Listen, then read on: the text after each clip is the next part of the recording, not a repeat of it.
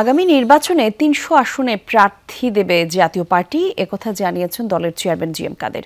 গাইবান্ধায় জাতীয় পার্টির সম্মেলনে যোগ দেওয়ার আগে সাংবাদিকদের তিনি জানান, এরই মধ্যে জেলা উপজেলা পর্যায়ে কর্মসূচি শুরু হয়েছে। জোটে গিয়ে নির্বাচন করার বিষয়ে এখনও সিদ্ধান্ত হয়নি। সরকারের উদাসীনতায় দ্রব্যমূল্যের দাম চড়া বলে দাবি করেন জি এম কাদের। পরে সম্মেলনে যোগ দেন তিনি। এতে দলের মহাসচিব মুজিবুল হক চুন্নু সহ আরও অনেকেই যোগ দিয়েছেন। দীর্ঘদিন পর সম্মেলন ঘিরে তৈরি হয়েছে উৎসবমুখর পরিবেশের। নির্বাচন করার জন্য সর্বাত্মক প্রস্তুতি গ্রহণ করছি।